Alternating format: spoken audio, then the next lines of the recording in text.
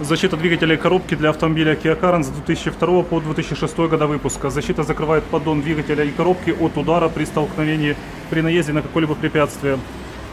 Имеется ребра жесткости, технические, технологические отверстия для слива масла, для замены фильтра.